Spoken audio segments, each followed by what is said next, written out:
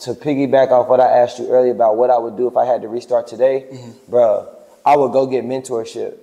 Yeah. I would go find somebody that has already made the the bumps the- and bruises Like and now can tell me everything I need to do to not make those same mistakes. Mm-hmm. And it's gonna cost.